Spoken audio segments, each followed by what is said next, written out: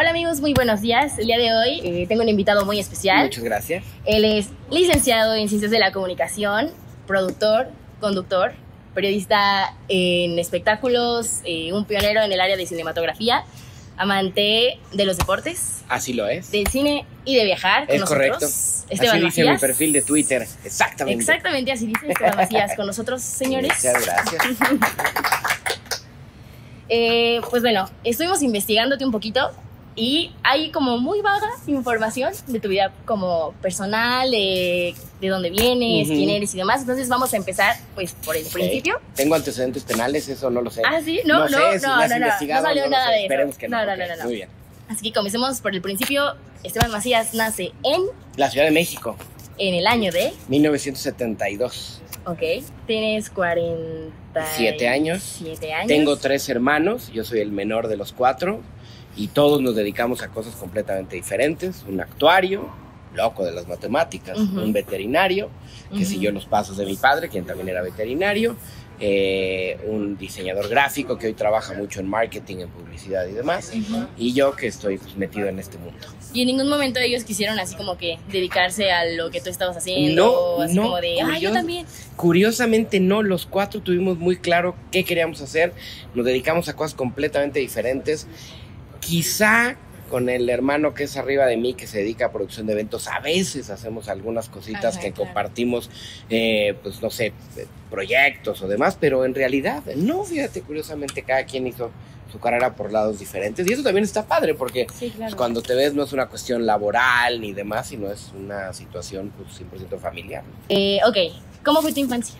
Pues eh, tranquila, divertida, eh, pues imagínate que, que siendo cuatro hombres, pues muy ruda y jugando todo el tiempo, en una época donde los videojuegos no estaban al boom que tienen hoy, ni de redes sociales ni demás, pues era jugar y jugar y jugar mucho y nos encantan a todos los deportes, entonces todo el tiempo nos lo veíamos jugando fútbol, jugando béisbol, jugando fútbol americano, eh, siendo cuatro, pues ya tienes la mitad de un equipo o un equipo, o juegas dos contra dos. ¿Todos son hombres? Todos son, todos somos No, hombres. Y además dos primos que vivían muy cerca de nosotros, otros dos hombres, entonces pues siempre nos juntábamos. Entonces sí fue una infancia de jugar mucho, muy familiar eh, y también muy cercana a deportes y a actividades eh, al aire libre, porque a mi papá le encantaba eh, acampar y le encantaba bucear.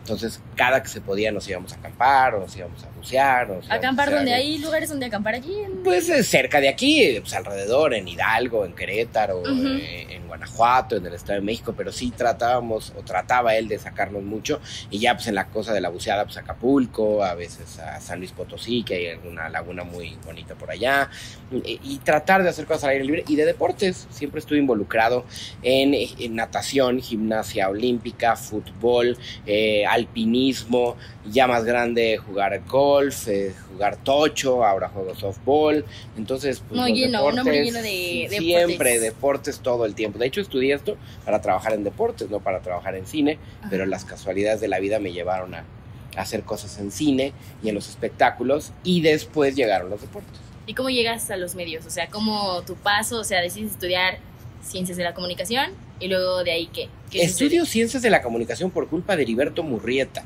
que es el conductor que hoy está en ESPN y que en aquella época eh, eh, daba los deportes en el noticiero estelar de la noche de Jacobo Zabludowski, que se llamaba 24 horas, y no porque lo conociera ni nada, porque yo estaba indeciso, no sabía qué estudiar.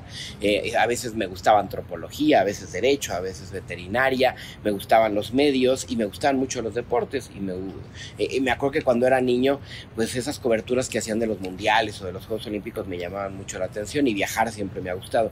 Entonces, un día lo entrevistaron en la tele y él dijo, pues estudié ciencias de la comunicación en la Universidad Intercontinental. Pues eso, voy a estudiar Ahí. ciencias de la comunicación en la Universidad Intercontinental y así fue, así estudié. Y ya en la universidad conozco a Sergio Pérez Grobas, que era mi maestro de cine. Y Sergio Pérez Grobas, a mí me tocó estudiar en la universidad la transición de televisión de gobierno a privada de TV Azteca. Y justo cuando ya estoy saliendo es cuando se le da la asignación al grupo de Ricardo Salinas Pliego y eh, a este profesor, Sergio Pérez Grobas, lo invitan a trabajar como productor en algunas cosas que estaban haciendo ahí. Y entonces, como llevábamos una buena relación, maestro-alumno y demás, veía potencial en mí, pues me dijo, oye, ¿por qué no entras aquí a hacer algunos pilotos? El día que matan a Colosio, yo estaba trabajando en Azteca haciendo un piloto de un programa de cine y me tocó ver pues cómo un medio de comunicación cubría una noticia tan impactante Sí, para claro. nuestro país como el asesinato de un candidato presidencial del PRI, imagínate, ¿no? y después ese piloto no se dio, pero después, más adelante, me invita a trabajar en el regreso de Patti Chapoy a la televisión. Ella había estado en Televisa, Y se cambia a Azteca. TV Azteca. Gracias a Ricardo Salinas Pliego, que era su vecino, que le dijo, oye, pues no tengo mucha experiencia en medios de comunicación, tú toda la del mundo. Sí. Entonces le invitó a hacer eh, algunas cosas, hace este noticiero de espectáculos, que se llamó En Medio del Espectáculo, que como tal fue la primer producción de TV Azteca como empresa privada. Ok. Había programas que se quedaron de la etapa pública, como Hechos, A quien corresponda, Deporte B, algunos otros. Pero en medio del espectáculo, como tal, fue el primer programa ya de TV Azteca como empresa privada. El primero producido igual por Pati Chapoy. El primero producido por Patti Chapoy y por Sergio Pérez Grobas, y ahí me toca entrar originalmente a cubrir la fuente de cine, pero en Ujú. esas épocas me tocaba cubrir de todo: teatro, televisión. Ahí estaba Guillermo Wilkins, que entramos los dos al mismo tiempo, que hoy es eh, directivo importante de la repetidora de la local de Guatemala en Azteca. Eh, y un año después entró Atala Sarmiento, entró Toño Hermida y entró pues mucha gente que, que empezaron a hacer carrera también en Azteca. Oye, ¿y tu gusto por el cine? ¿De dónde sale? Si tú me dices que ibas como para deportes, ¿de dónde Sí. viene el cine? Curiosamente, y también tiene que ver eh, un poco de culpa de mi papá. Cuando no íbamos de campamento, no íbamos a bucear, íbamos mucho al cine. Los sábados, si estábamos en la Ciudad de México, era ir al cine. Y eran los ochentas, y entonces estaba Rocky, Back to the Future y Star Wars. Y era una época, pues, muy. eh, De, de una manera inocente, de una explosión de cine comercial y de una opción para toda la familia de ir al cine. Las películas de Star Wars a mí me marcaron y me enamoraron de un universo y de la posibilidad de contar historias del espacio y demás. Sí. Y curiosamente mi papá era un tipo, sin ser profesional, que sabía ver muy bien el cine. Yo recuerdo mucho que cuando empezaba una película de James Bond, que generalmente son en otros países o de Sí. algunas otras, Muchísima producción. nos decía, fíjense eh, cuando, cuando salgan los personajes, no vean los créditos, no vean lo principal, vean atrás qué ciudad es, cómo son los coches, cómo se visten. Y nos Sí. invitaba a que hiciéramos eso a mis hermanos y a mí. No sé si mis hermanos lo hicieron o no, pero a mí se me quedó muy marcado. Yo sí lo hacía y, y me enseñó un poco a ver más allá de lo, de lo normal o de lo evidente, pues un poquito más, ¿no? De Ajá. analizar en las películas. Y después con la explosión del VHS, de los videocentros y de los blockbusters. Y yo soy el menor, tres años menor de los anteriores, entonces me tocó estar mucho tiempo solo de repente en secundaria y en la prepa, en mi casa. ¿no? Y entonces me acuerdo que iba al videocentro y rentaba un montón de películas y yo pues hacía mis propios ciclos. Voy a ver puras de vaqueros. Ujú. Voy a ver puras de Elizabeth Taylor, voy a ver ahora puras del espacio, de la Segunda Guerra Mundial. Entonces yo armaba, pues sacaba mis cinco o seis películas Ujú. me las reventaba todas y así poco a poco pues empezó pues esta cuestión cuasi autodidacta de empezar a ver películas que se reforzó ya en la universidad cuando conozco a este maestro y empezamos a trabajar más cosas de guion, de cámara, de planos, de fotografía, de, de más. Y situaciones. ya empiezas a entender mejor. Y en esa época trabajaba como asistente de un fotógrafo de publicidad, foto fija, pero también tenía estos elementos de pues, comunicar a través de la lente. Sí, claro. Sí, lo que expresa la imagen. Ok, vamos a regresar un poquitito a Azteca. ¿A Ujú. qué edad entraste a Azteca? Tenía 22 años, 22 años. Acababa Ok. de cumplir 22 años. Y me cuentas que entraste justo cuando empieza a hacer este cambio, ¿no? De Azteca y que se privatiza. ¿Cómo era Azteca cuando va empezando? Porque hoy ya lo conocemos como ya más establecido, ya están acreditados y ya están en muchas partes, pero en ese entonces, cómo era TV Azteca, muy inocente, con todas las ganas de triunfar, con todas las ganas de hacer cosas diferentes, pero sin tener una idea clara de cómo hacerlo. Había durante muchos años, o particularmente los 30 años anteriores, un monopolio bestial de Televisa, un control total de medios en los 80s y en los 90s, que cuando llega esta opción, pues lo veían para abajo y no creían que fueran a hacer algo. Y cuando inteligentemente la parte de ventas empieza a jalar publicidad a TV Azteca, fue como, ok, antes yo tenía el 100% del pastel y ahora nada más tengo el 80%, y luego el 70%, y luego el 60%, y empieza a crecer esta empresa. Quizá los tumbos, insisto, sin una dirección clara, sino pues vamos a hacer programas y vamos a crecer y con mucho, mucho ímpetu, porque pues como jóvenes lo que querías hacer era experimentar. Claro que nadie teníamos experiencia y esa fue una ventaja, porque hoy te piden experiencia para trabajar en los medios. Sí. ¿no? En ese momento no había manera de tener experiencia Ajá. porque era un medio nuevo. Ellos eran inexperimentados, nosotros íbamos empezando y fue crecer juntos y, y, pues hacer lo que creíamos era lo mejor. Fue muy importante en mi caso, en el área donde yo me desarrollé, una visión muy clara como la de Patti Chapoy, que tenía muchos años, que era una mujer que sabía lo que estaba haciendo, que sabía pedir y exigir a, a su equipo de trabajo. Y en otras áreas también era interesante. En deportes seguía estando José Ramón Fernández, que construyó una escuela fantástica de deportes. Hoy tú vas a Fox o a ESPN, a Televisa a Deportes, a TDN, incluso algo en Azteca y, y, demás. Mucha gente que tiene de una u otra manera el toque. Eh, de educación o de formación de José Ramón Fernández, ¿no? Y así nos pasó también en el caso algunos con, con Patti Chapoy. Oye, entrando con Patti Chapoy, ya que empiezas a dar este espectáculos y demás, ¿nunca quisiste volver a pelear esta parte de deportes? O sea, como intentar. Eh, no, ¿sabes por qué? Porque era muy complicado. Deportes en Azteca estaba viviendo su mejor momento. No había manera. Y José Ramón era muy celoso de su equipo. Y yo recuerdo, me costó mucho trabajo ganármelo. Porque me veía así como, ay, tú eres el de espectáculos, ¿no? Y me decía Chapoy. Nunca me dijo Esteban. Siempre me decía, a ver tú, Chapoy. ¿No? Y así me hablaba.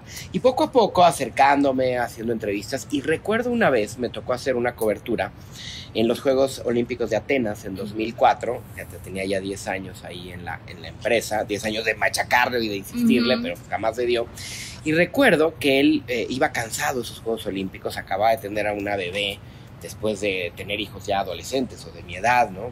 Una nueva esposa, estaba cansado, no sabía un poco qué, y recuerdo que le pedí una entrevista y estábamos en la azotea de un edificio en Atenas, que de fondo se veía el Partenón, espectacular la locación, y me citó una hora antes de que empezara el programa, y dijo, pues una entrevista de 10, 15 minutos para que pues hagamos una entrevista y yo ya después me preparo y hago el programa y tal.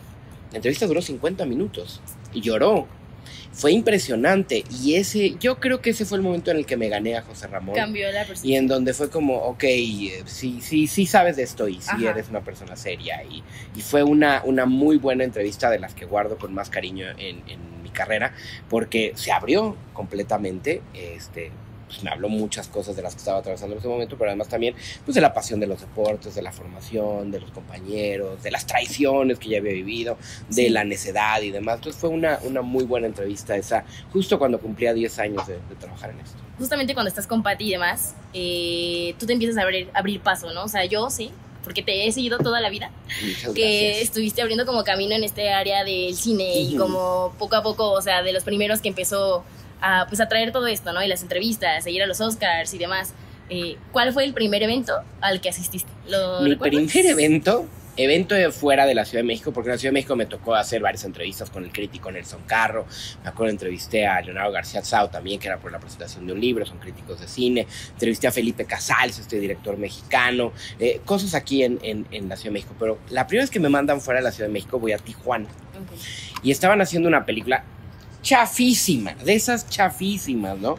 Pero pues yo iba con todas las ganas de tratar de hacer pues, unas buenas entrevistas y mejor ir a la locación. Estaba eh, Gardo Gascón y, y, Kenia no Kenia Gascón y Edgardo, ya ni me acuerdo de los actores, cómo se llamaban, pero, pero me acuerdo haber ido a Tijuana y haber estado ahí y demás, y fue interesante.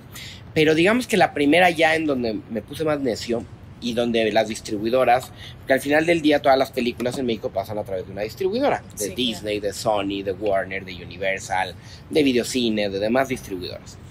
Y el chiste es que ellos creyeran en mí para pues, decirles, mándame a algún lugar, voy a hacer entrevistas con la gente de tu película y voy a hacer una buena nota y la vamos a presentar acá. Y eso sí fue una batalla y una lucha que me costó, pues yo creo que un año.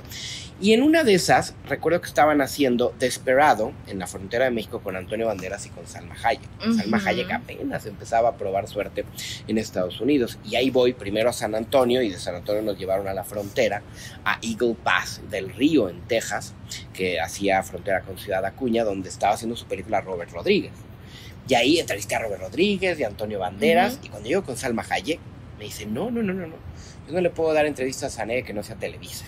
No. 1995 principios. Pero ya no estaba con ellos, pues ya no estaba, pero era tal el miedo de los actores que habían surgido o estar en Televisa que eso nos, nos pasaba cada rato. No, no, no, mi casa Televisa. O sea, no solo con ella. Y, entonces, no solo con ella, con muchos actores. El caso es que Salma, me acuerdo que no me dio esa entrevista acordarás de mí. Un par de años después la volví a entrevistar y ahora la he entrevistado ya muchas veces y sí, se acuerda de mí, lo saludamos con gusto, porque sí, fue muy importante en el posicionamiento internacional de Salma en Hollywood, pues prácticamente cada película que hacía ahí estaba yo haciendo la entrevista, bueno, cuando fue a los Oscars y demás, entonces, pues sí, sí tengo buenos recuerdos con, con Salma Hayek, pero ese fue el primero en donde me negó completamente la entrevista, yo regresé frustrado, ¿cómo? Salma Hayek, la que hizo Teresa, ¿no? No me da la entrevista. Y así fue, pero poco a poco fue picar piedra hasta que fueron creyendo un poco en mí. Entrevisté a Dani DeVito en Cancún, me acuerdo. Entrevisté a Cuarón en en Cancún también por La Princesita. Eh, y ya el primer junket internacional fui a la ciudad de Chicago a entrevistar a Julia Roberts. Era febrero, en el pleno invierno de Chicago, horrendo el frío, pero pues ya era como la primera oportunidad y no con cualquier figura, era Julia Roberts. Entonces, así poco a poco se fue abriendo después el espacio con las demás distribuidoras. Oye, y estas personas en algún momento te rechazaron, no rechazaron, sino que tenían esta pues prohibición a lo mejor y la exclusiva con esta otra empresa, eh, que en algún momento te dijeron, no, no puedo darte la entrevista. Hoy en día te han dicho así como de, oye, perdón, en ese momento no pude o pues algo. No, no, perdón, pero pues después el trabajo habló por sí solo, en donde ya hice prácticamente todo. Incluso había eh, distribuidoras que preferían que fuera yo representando Azteca, que fuera alguien de Televisa, y eso pues se siente muy bien, ¿no? Que te dan la exclusiva cuando eres el único medio y demás. Pero sí recuerdo que cuando iba empezando iba a venir Oliver Stone a México y iba a presentar la película Asesinos por Naturaleza. Y entonces yo quería entrevistarlo, pues es Oliver Stone, ya había ganado el Oscar por pelotón, era una figura muy importante. Y me dijo la que llevaba en ese momento la distribuidora de Warner, sí te doy la entrevista, pero no la puedes hacer tú. La tiene que hacer alguien que salga en la tele. Yo sí, de cómo crees? Sí, alguien que salga en la tele. Pues va, no me importó. Y entonces fue una compañera que conducía el programa al lado de Pati Chapoy. Eso sí, yo le di todas las preguntas pregunta esto, no te salgas de aquí, no improvises, no produzcas, hazlo. Va, y así fue, y salió bien la entrevista, y entonces sí, pudimos hacer a, Oliver Stone ese día, en este hotel me parece, justamente. ¿Cómo crees? Oye, eh, si en algún momento Televisa puso algunas trabas o demás para que tú pudieras, eh, o tuviste complicaciones para tener contenido, o a lo mejor ir a una entrevista y demás, ¿trabajarías con ellos hoy? Sí, por supuesto, yo trabajaría en cualquier lado. La verdad es que en ese sentido, claro que te nace el amor o el cariño por una empresa, pero después te das cuenta también que esto es un negocio y que los medios están viendo cada uno por su mejor eh, provecho, más que por el, de los individuos. Y, en ese sentido, cuando yo salgo de TV Azteca, me queda claro, pues en la empresa ya no estábamos haciendo las cosas que queríamos juntos, salgo de ahí y trabajaría para la empresa que tú me digas sin ningún problema. Oye, y se dice de Azteca que se suda así la gota gorda, o sea que cada peso ganado es cada peso trabajado, o sea que a lo mejor y si tú sales en, a cuadro, pero súper trabajas la parte de atrás, súper trabajas la parte de redacción, ¿es cierto o no es cierto? En algunos casos sí, hay algunas personas que cobran a mi gusto mucho dinero por no hacer nada y hay otras personas que cobran muy poco dinero por hacer un montón, pero eso es en cualquier lado, ¿no? Estas injusticias se dan en cualquier lado. Lo que sí eh, me parece que es importante ahorita que lo comentas es que sí Televisión Azteca tiene una política de hacer lo más posible con lo menos posible, realmente de explotar los recursos al máximo y que la gente pues, la exprimas todo lo que se pueda, que tampoco es una mala filosofía y por algo el señor Ricardo Salinas Pliego es de las personas pues, más eh, pudientes y más de, mayor provecho y, con negocios más eh, estables en el mundo, ¿no? Pues al final de cuentas es un negocio, ¿no? Es un negocio y así funciona la situación. Ya si tú le quieres entrar, pues ya depende, ¿no? Y sí, ahora a mí me ayudó también mucho que en este caso, y regreso a Pati Chapoy, nos obligaba no a hacer solo una cosa. O sea, no era, eres reportero y ahora ya sales a cuadro y te olvidas de la parte de reportero. Y hay alguien más que te escriba, ¿no? Hacías todo lo tú tuyo. Tienes que escribir guion, tienes que saber hacer entrevistas, calificar las entrevistas, tener nociones de edición, nociones de derechos para poder saber qué vas a poner en, tus, en tus eh, piezas y en tus ediciones y obviamente poder tener la capacidad, si se puede, de presentarlo a cuadro.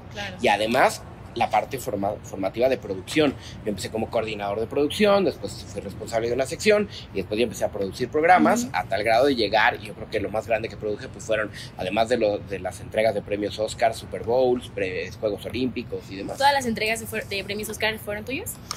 Prácticamente a cuadro o involucrado siempre. Incluso como el eh, contenido, como eh, el formato, pues. En la parte de información siempre. Esa fue la donde nunca, nunca fallé, en la parte de información. Ah, en la parte de conducción, pues sí, muchos años, creo que unos 15, y en la parte de producción unos 10 o 12. Oye, tú como crítico, ¿alguna vez no pensaste en en vez de ahora ser el crítico, sino ser el criticado? O sea, sí, sí, decir, y a la fecha, ¿eh? ¿Sí? Todavía tengo esa cosquillita. En la universidad me gustaba mucho la clase de guionismo, tengo ahí algunos guiones, algunas ideas y por supuesto que siempre está esa cosquillita de hacer algo más, ¿no? De poder hacer una película, sí, sí, yo creo que es un proyecto soñado.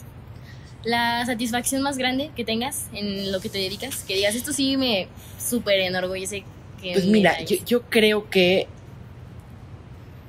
no sé si con estas palabras, nos lo decía mi padre, yo se lo digo a mis hijos, si vas a hacer algo, hazlo bien.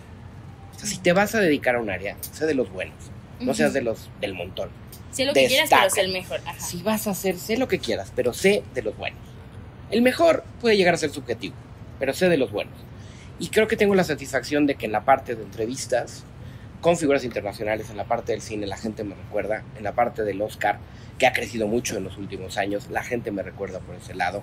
Y, y en ese sentido también te puedo decir que a pesar de haber estado involucrado en una etapa revolucionaria de los espectáculos, en donde cada vez se habló más de la vida privada, más de los chismes, más de estas otras situaciones, yo jamás me metí en ese lado. Siempre traté de ser muy fiel a mis convicciones y a tratar de hablar de, lo que ellos presentaban en el asunto público, que es su trabajo, eh, sus obras de teatro, todo ese tipo de cosas. Entonces, tratar de hablar de ese lado del espectáculo y siempre desde el lado serio, porque al final del día es periodismo, de repente, y sobre todo en estas épocas, se sobaja un poco a la sección de espectáculos porque ahí, ahí son chismosos, ahí son, porque ha habido mucha gente involucrada que no está preparada. Y la verdad es que sí creo que al final del día es periodismo, que se hable de espectáculos es, es el subtema pero es tan importante como deportes, como política, como internacional, como salud, como bienestar o como las demás secciones que puede haber en un noticiero. Pero creo que lo tienes que abordar así y presentarlo de manera seria. ¿Y cómo lograste hacer esa división si tienes la escuela de Pati Chapoy bajo Ventaneando? O sea, como Porque, y fíjate que esa es una pregunta eh, bien interesante. Mi respuesta número uno sería no sé. Pero la número dos, tratando de analizarlo, tendría que ser porque yo me dediqué a un área de los espectáculos donde Patty no tenía ni mucha experiencia ni mucho interés. Y me dejaba hacer. Porque pues, en las entrevistas internacionales, aunque no le llamaba, entonces yo llegaba con ella, oye, me ofrecen una entrevista con Woody Allen en Venecia, vete, hazla. No, pues ahora tengo unas entrevistas en Los Ángeles, hazlas, vete. Quiero ir a Los Óscares, pues consigue la acreditación y ve, y así fue. Entonces yo en realidad me movía pues como quería. Sí, realmente no te en si el chisme si se casó. Jamás, y cuando me sentaron en la sala de Ventaneando era, y vamos a hablar del marido de Ninel Conde, y yo así de madre, no tengo ni idea de qué voy a hablar.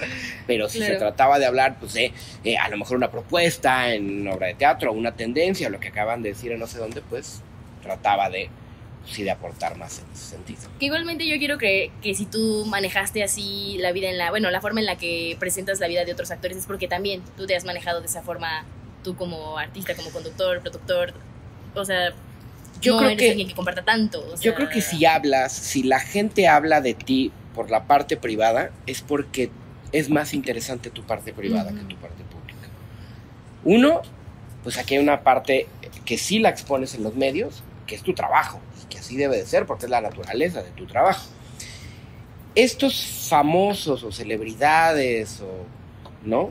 Actores que exponen algo de su vida privada, en ese momento a todos los demás nos dan permiso de meternos por ahí. Claro. Yo, yo recuerdo haber tenido una discusión muy fuerte con Plutarco Asa. Me acuerdo que estábamos en Alemania, en el Mundial de Alemania, y él había ido por algo y estábamos platicando unos tacos en Alemania. Imagínate qué raro, en Múnich. Y entonces a él estaba ahorita como en el escándalo de que se iba a divorciar de Ludvika Paleta y demás, y se quejaba los medios y no sé qué y por qué. Dije, oye, pues, ¿de qué te quejas? Sí. Tú vendiste el bautizo de tu primer hijo a TV Notas. Tú abriste la ventana. Sí. Tú dejaste que las demás personas nos metiéramos ese lado de tu vida. No, no es lo mismo. ¿Por qué? Porque cobraste y porque en una diste permiso y en la otra no. Es lo mismo. Estás haciendo Claro. que la gente hable de algo que no es tu trabajo. Ahora es tu quieren vida saber más, ya, los- ya alimentaste una Te vez. alimentaste claro. eso. Entonces ahora, pues, te aguantas. Porque tú abriste la puerta. Tú firmaste el contrato con el diablo. Ahora te aguantas. Sí. Y en ese sentido creo que no lo acaban de entender y a la fecha los famosos, ¿no? En donde pues creen que ellos Sí. tienen 100% el control y no es cierto. Control lo tiene la gente. Sí, Y lo que cuando una vez más se vuelve más interesante tu vida privada que tu vida pública, es que algo no estás haciendo bien. Eh, ¿Trabajas 25 años para Azteca más o menos? Más o menos, sí, Más o 25 menos. años. Eh, ¿Cómo fue tu salida de Azteca? Porque cuando entran hace dos años un nuevo equipo de producción a, a- a liderar pues, los caminos Por Alberto. por Ciurana. Alberto Ciurana, por Sandra Smester, por algunas otras eh, personas que traían una escuela diferente, pues realmente era muy diferente a la manera que yo tenía de trabajar y mi manera de trabajar no les gustaba y es, y es entendible. O sea, no, no tienes que ser monedita de oro y que todo, todo les guste lo que tú haces. Y pues poco a poco se fueron dando situaciones que a mí no me gustaron, como sacarme de repente de algunos proyectos sin avisar o demás. Y entonces empezó a ser desgastante y medio, medio feo el- la relación. También no eran un, un- un par de productores que les gustara tampoco lo que hacía Pati Chapoy y toda la, lo que pareciera o viniera de la escuela de Pati Chapoy. Hasta que llegó un momento en el que decidieron plantearme, pues mira, creo que ya es momento. Me ofrecieron una salida con una indemnización, bien respetados mis años de trabajo, pues órale, adelante, ¿no? Y ahora a trabajar porque la vida sigue. ¿Y lo extrañas? Azteca. Eh, eh, ¿Sabes qué se extraña? Curiosamente, se extraña la seguridad de estar en un medio. Una cosa que siempre tuve claro es que todas las entrevistas que logré o conseguí llevaban por delante el asunto de que iba por un medio. Afortunadamente cuando salgo de Azteca, las distribuidoras y demás me siguen dando trabajo y proyecto por lo que tengo, por el nombre que formé y por la relación que hice. Sí. Pero claro, los grandes eventos, las grandes premiers, pues necesitan que vaya el apoyo de los números o del medio, que en este caso es Azteca, cosa que ahorita en estos cuatro meses pues no he tenido, pero que seguramente se irá construyendo y así voy. Estoy trabajando en mi proyecto digital, estoy trabajando ya en mi programa de radio, este, algunas otras cosas también con otras empresas como multimedios, entonces pues eh, es una situación en donde no te puedes detener. O sea, eso fue, fue hace como cuatro meses la salida. más o menos, Más como o a jun- julio, agosto, más o menos. ¿Y respetas? O sea, no que respetes, pero te están agradando los cambios que están haciendo ahorita con... Desde que estaba adentro no me gustaban. Y lo que están haciendo ahorita tampoco me gusta. No me gusta ¿Cómo la no televisión que están haciendo. No me gusta que alarguen un programa como Venga la Alegría en la mañana, tantas Ujú. horas con talento que quizá de repente. Tampoco me gustó que empezaran a traer pues a este talento que Televisa ya no quiso en los Todos están mezclados ahora, ¿no? Y, y- y- y medio mezclados, pero que llegara gente azteca que. De verdad, el que trajiste es mejor de los que estábamos en Azteca. Y esa parte es bien complicada y bien difícil. Entonces a mí la verdad es que no, no me gusta lo que están haciendo. Algunas cosas sí me gustan. Me parece que la parte de deportes es muy buena. Este, liderada por Luis García y Cristian Martinoli. Esa parte me gusta. Pero la parte de, de- de programas en vivo... Ujú. No. ¿Y tu ingreso a multimedios? ¿Cómo fue? Pues en realidad por las relaciones que vas haciendo en el camino y porque conocía a la persona que dirige noticias en multimedios, entonces me acerqué con él y dije, oye, ¿cómo está esto? Sí, me interesa, me hicieron una, pro- una oferta, yo les propuse ciertos contenidos, en realidad no voy mucho tiempo, voy una vez a la semana a hacer una propuesta que quizá pueda crecer ahora en estas fechas y así en realidad se dio por las relaciones que vas sembrando en el camino. Y que si tú, y una vez regreso a ese punto que me decías en donde lo que habla por ti es el trabajo y no lo demás, pues la gente te, cuando menos te escucha, cuando menos Sí. les hablas por teléfono, les mandas un mensaje o les llega un mail y si saben quién eres, te van a escuchar. Ya si después eso crece a que pues este se convierte en una propuesta laboral, ya es diferente, pero las puertas están abiertas. Claro. Eh, con tantos cambios que están habiendo ahorita en Azteca y demás, y que se ha dicho que tal vez Patty no tenga tan buena relación con este. No, no tiene buena relación. ¿Crees Se lo puedo asegurar. ¿Crees que exista la posibilidad de que diga vaya Azteca o la Televisa? ¿Para ti? Ajá. No, hay mucha posibilidad de que Patty diga, vaya Azteca, me dedico a... Su proyecto personal. Mi proyecto personal, Claro. a ser abuela, que tiene unas nietas hermosas y fantásticas, a la familia y a apoyar al marido que sigue involucrado en la parte del fútbol, en Monarcas Morelia. Más bien yo creo que cuando Patty decida salir de TV Azteca es porque se va a retirar de los ¿crees que medios y tendrá cosas. ¿Posibilidad? Sí, claro, es una posibilidad para todos en algún momento el retirarse. Que ahora la están empujando a hacerlo, no lo veo tan, tan lejano. ¿eh? ¿Y hay manera de que se lleve el programa, eh, su programa que es... ¿Ventaneando? Sí. No, Ventaneando es propiedad de TV Azteca, es una propiedad intelectual. Cuando tú firmas contratos con las empresas, las cosas que haces intelectualmente se quedan propiedad de esa empresa y listo. O sea, en ese sentido no, no hay, no podría llevarse Ventaneando, podría ser un programa nuevo que se llame, en vez de Ventaneando, Puerteando si quieres, ¿no? Pero, pero en ese que lo valioso son las ideas, lo valioso es lo que tú tienes, lo que aportas. Puedes empezar de nuevo otra vez en donde Claro. sea.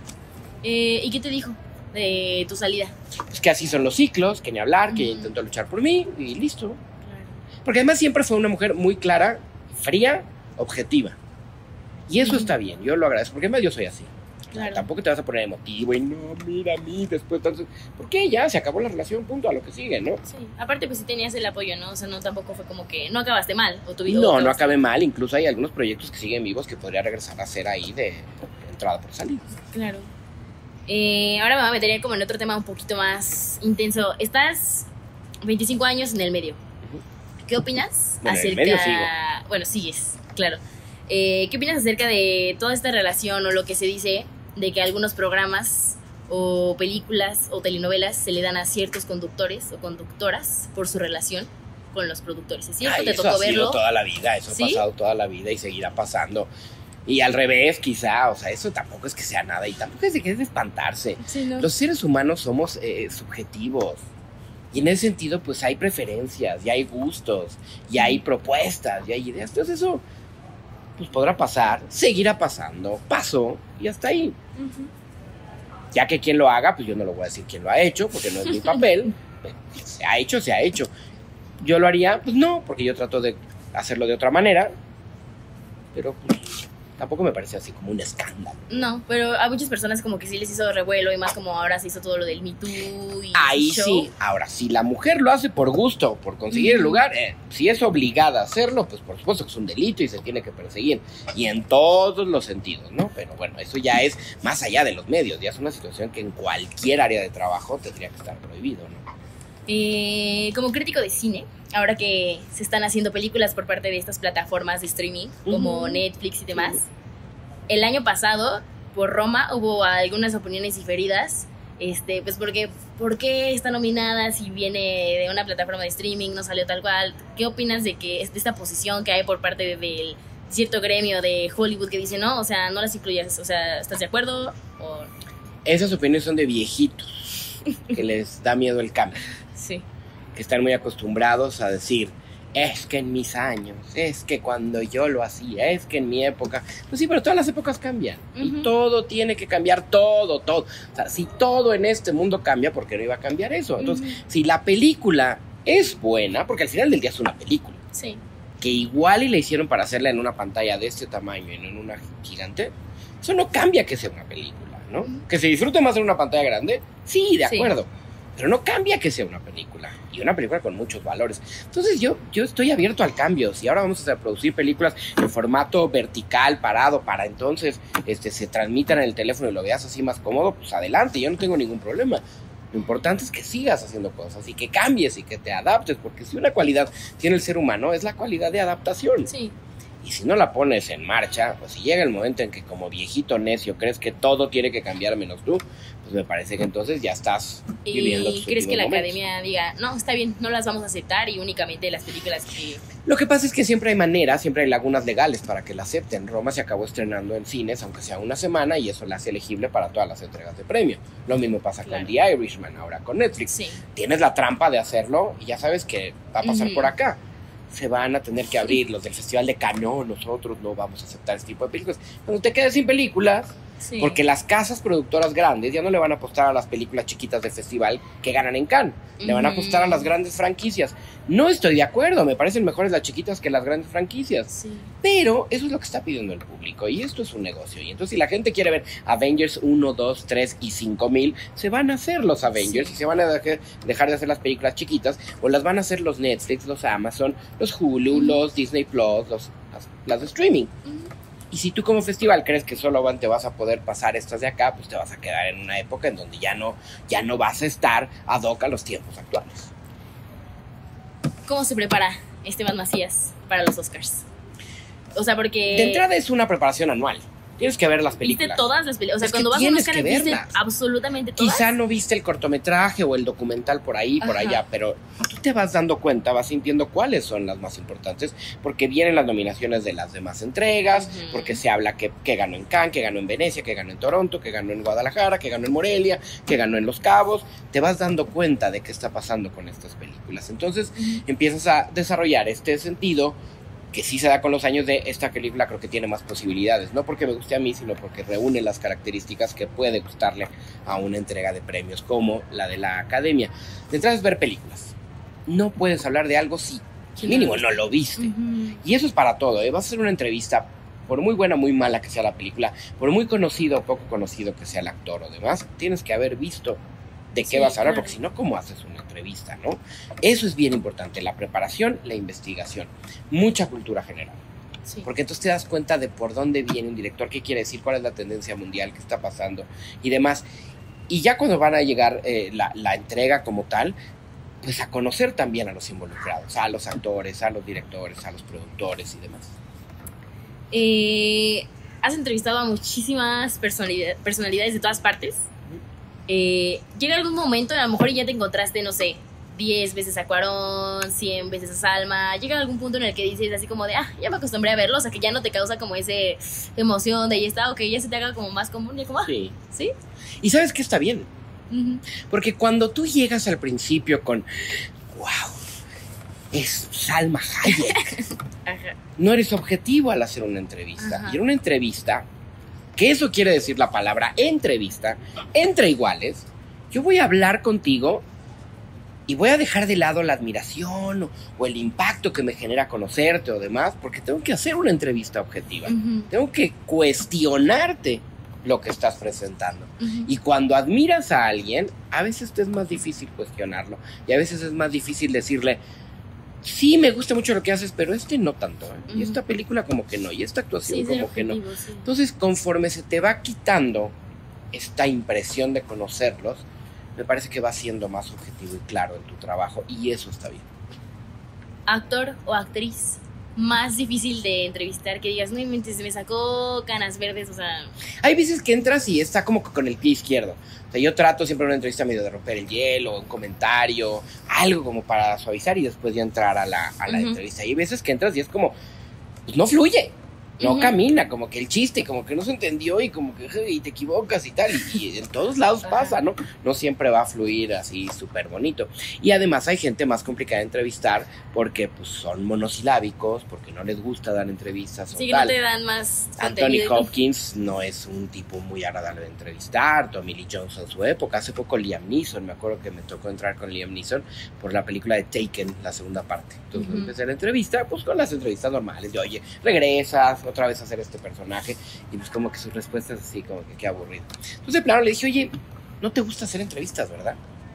No, ¿por?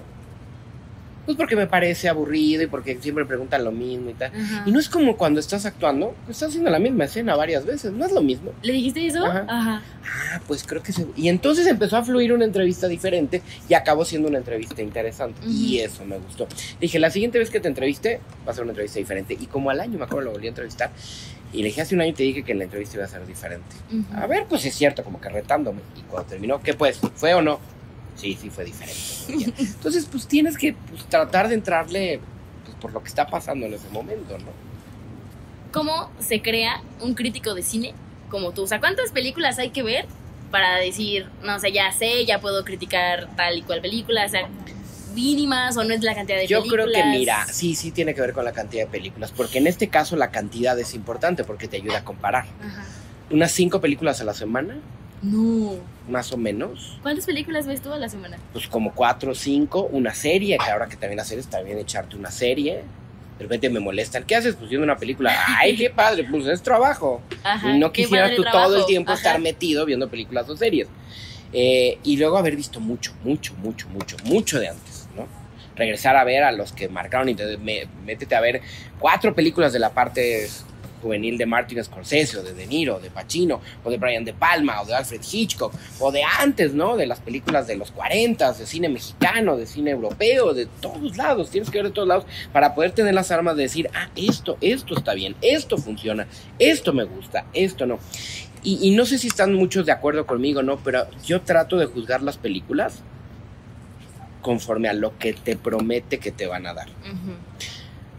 Puede ser una comedia puede no tener los mejores elementos o no ser la más original o demás, o no estar muy bien filmada, pero si cumple con lo que promete, que es hacerte reír y entretenerte, está bien.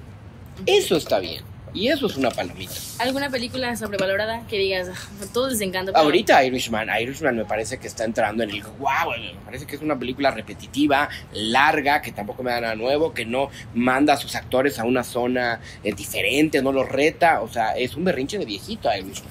¿Y Roma? ¿Te gustó Roma? Me encantó, ¿Por qué? porque lo más importante en una película es la historia. No es el director, no es el actor, no es la fotografía, no es la música, es la historia.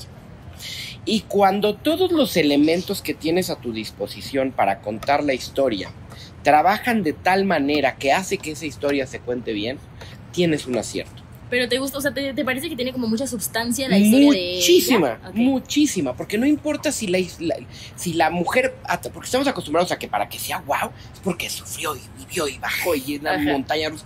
No, puede ser una parte tan cortita como esto. Ajá. Pero es impresionante como una mujer que se enfrenta al asunto de llegar de provincia, trabajar en la Ciudad de México, salirse de su entorno familiar, quedar embarazada, perder al hijo y tener que dedicarle la parte de sentimiento maternal a niños que no son de ella, me parece bestial, aunque sea cortito, aunque lo hayamos visto muchas veces eh, eh, en esta ciudad o en varias ciudades, parece que está muy bien contado. Y cuando todos los elementos, te digo, trabajan acorde a la historia, es que está bien. La fotografía está bien, las actuaciones, la parte de audio, que no era música, que no era la parte de audio, está muy bien contada esa historia y por eso me encanta. Y cuando vas al cine, no, no de repente es así como que tedioso o que tu, que tu cerebro no pueda dejar de estar pensando, Sí. que digas, no, ¿por qué sigo criticando? Solo disfruta la película. Y cuando pasa eso de que solo disfrutas la peli, entonces realmente lo gozas. Me pasa con Star Wars, que a lo mejor no son tan buenas, pero pues cuando las voy a ver, regreso a ser el niño No que era juzgar, tú solo antes, las vas a y disfrutar. en esas las voy a disfrutar y puedo encontrar que hay cosas que no me gustan y cosas que sí, pero digo, esto está padre. Oye, ¿y qué va a hacer ahora de los Oscars sin ti? ¿Vas a ir? ¿Piensas ir? No sé, eso está en el aire todavía.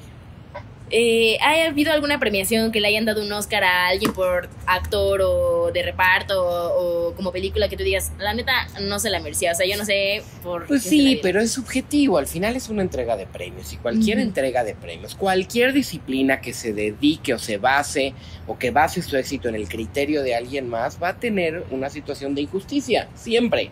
¿Pero crees obvio. que esté medio vendido? O sea, por ejemplo... No, vendido no. Yo creo que una entrega como el Oscar siempre obedece a tendencias sociales, a lo que está pasando en ese momento, al status quo. Si de repente todos dijeron, ay, es que hay que premiar superhéroes negros, sí, Black Panther es lo máximo. Black Panther está totalmente sobrevalorada. Es una película mediocre que se repite con El Rey León. Pero, uy, un superhéroe negro. En una Aparte, un de año anterior habían tenido problemas Wow, con la Black- no inclusión. ¿no? white. Entonces, claro, en ese momento, Ujú. Black Panther eh, parece totalmente. Ese es un buen ejemplo de sobrevalorado. ¿Favoritas al Oscar este año? Pues mira, sin haber visto tanto, porque apenas empieza realmente ya la ola, ¿De qué fecha a qué fecha las toman? pues mira, la- la- lo que entra a la competir en el Oscar como tal regla es lo que se estrena comercialmente, mínimo un fin de semana, en Los Ángeles o Nueva York, entre el primero de enero y el 31 de diciembre.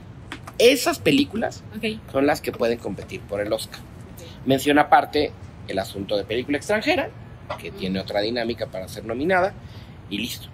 Todo lo- y los cortometrajes. Todo lo demás tiene que haberse estrenado comercialmente en Los Ángeles o Nueva York, mínimo un fin de semana, entre el 1 de enero y el 31 de diciembre. ¿Ok?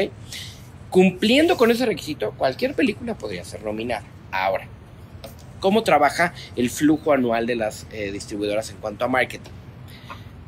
En enero reestrenan las cosas que pueden entrar al Oscar para llegar fuertes y tratar de generar las nominaciones y los premios. ¿Cómo Es decir? Ajá. por ejemplo, tú tienes ahora Jojo Rabbit, que la van a estrenar seguramente en Estados Unidos en diciembre. un- le llaman un limited release, poquito, en Los Ángeles o Nueva York. Eso la hace elegible para el Oscar y después la reestrenan a mediados de enero para que empiece a agarrar fuerza, ya en todas las ciudades. Ujú. Luego se estrenan películas muy malas. Generalmente se estrenan las películas que nadie quiere entre enero, febrero y marzo. Las chafitas, las comedias, las que a ver qué pasa con ellas.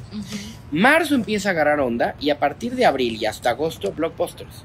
Sí, películas todo de verano. franquicias, toda Ujú. parte de verano, superhéroes, bla, bla, bla, bla. Septiembre, octubre y noviembre, películas de Oscar, de festivales, más serias, con más intención. Y diciembre, además de ese tipo de películas, algunas también que cierran en Navidad o en vacaciones de Navidad, otra etapa importante de recaudar dinero, ¿no? y ahí tienes Frozen, o ahí tienes Star Wars, o más películas, ¿no? Entonces así más o menos funciona el, el flujo de marketing en los Estados Unidos, que es muy parecido en todo el mundo con respecto a las películas de Hollywood, que son las del Oscar. Pero tus favoritas, ¿cuáles son? Este? Pues ahora, sin haber visto mucho, Jojo Rabbit va a quedar muy bien. Viene El Escándalo Bombshell, una con eh, Charlize Theron, Nicole Kidman y Margot Robbie. Eh, The Lighthouse trae ahí una situación interesante. Eh, The Irishman va a quedar por el asunto de ser Martin Scorsese. No estoy totalmente de acuerdo con eso. Y por Robert De Niro. Eh, yo creo que a- a- el Joker obviamente va a estar también porque ha generado mucho y me parece que va a estar en las categorías. ¿Crees que está sobrevalorado Joker? o No, no, a mí me parece bestia, me parece una película fantástica, brutal. Me parece muy buena, muy Sí. buena película.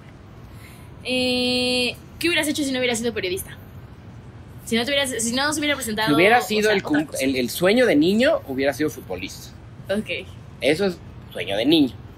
Y me gustó, eh, jugué en fuerzas básicas en Cruz Azul, pero pues no, la estatura tendría que haber sido como Maradona o Messi y no soy como. Maradona o Messi. Entonces, pero me, me hubiera gustado. Y si no, me gusta por mucho eh, la investigación, la sociología, la, la, lingüística, saber de dónde viene, el por qué. O me gustan mucho los viajes también, pues dedicarme a llevar grupos y hacer cosas. Y que tu trabajo te lo ha permitido, ¿no? Has viajado Sí. muchísimo gracias a. Mucho, mucho gracias al, al- al- a mi trabajo he podido conocer muchos, muchos países. Ok, ya para concluir la entrevista. Te voy a decir diferentes palabras, personas, cosas y demás, y me vas a decir como las primeras palabras que, que se te vengan a la mente o lo que pienses de eso, ¿ok? Entonces, a ver, primero, Pati Chapoy, Jefa, Yalitza Aparicio, apertura, Harvey Weinstein, una época, Alberto Ciurana,